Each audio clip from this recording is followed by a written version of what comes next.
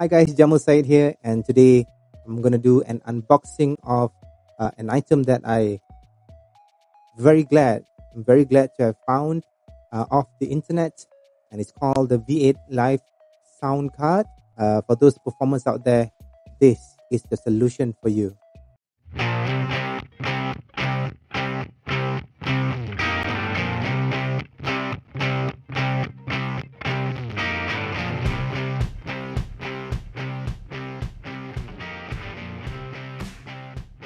All right, uh, going straight into the unboxing, we have this uh, little box here, and it comes with uh, the V8 Live sound card, uh, three cables, one for charging and two uh, to hook up to your smart devices. It's quite small, as uh, small as my hands. You got a microphone knob, the echo knob, uh, you got the basic EQ, treble, bass. Uh, record is the output. Uh, music is the uh, knob for how loud you want the accompanying music to be, and the monitor is to hear uh, how loud you guys are. And you have uh, and you have all these little effects you, that you can actually play around when you purchase the V8. To switch it on, just press the button, and it's that easy so there's an inbuilt power uh, power source so you can actually charge the V8 and it's very very light. And as you can see from the back you have the uh, input for your devices. Um, micro USB to one of the smart devices. And this is uh, as you can see this is the micro USB and it ends up with the uh, TRSS input jack. And you just hook it up into the uh, your headphone jack of your smart devices. And the far end there is for you to charge your V8 so you don't have to worry about uh, losing power. And then you have your headphone jack to hear yourself through the monitor. This is the uh, headphone jack with microphone. That is the microphone input. And that is what I would use uh, with my guitar uh, with the quarter inch cable.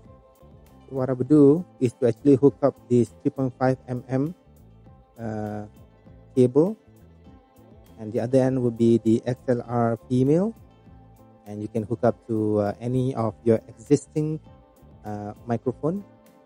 So I'm using the Audio Technica uh, limited edition microphone all right so we've done the unboxing. So this is a very simple setup.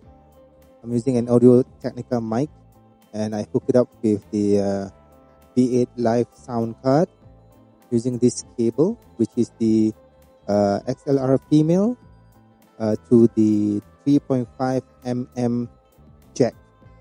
Okay into the input. This is the the raw sound that you can get. This is from the dynamic uh, microphone and I'm to test it out with uh, with the effects and uh, a guitar. Cause there's you and me, all of these people, nothing to do, nothing to lose. Cause there's you and me, all of these people, and I don't know why, can't keep my eyes off of you.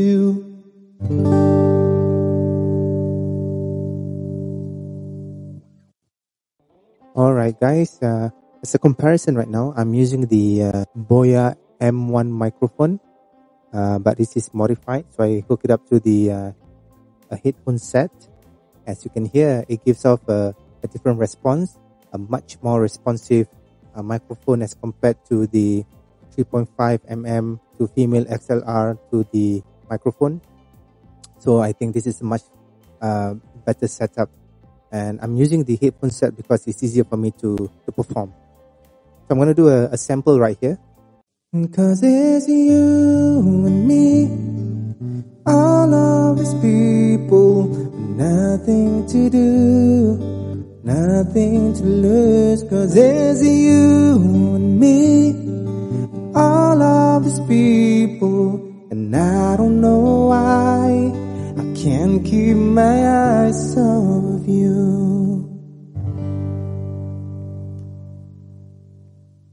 so that is the actual setup and the sound, and uh, you guys can compare how it works. And there's a lot of nice things to uh, to play around with. You know, if you're doing a podcast or if you guys doing a, uh, an interview, you can actually play around with all these uh, sound effects. Uh, you got the clap. Uh, we got the uh, laugh. yeah. So there's a lot of things that you can play around. It's really good. It's very cheap. Uh, please check it out. Uh, and perhaps you guys can uh, let me know how it turns out for you. And all the best and take care.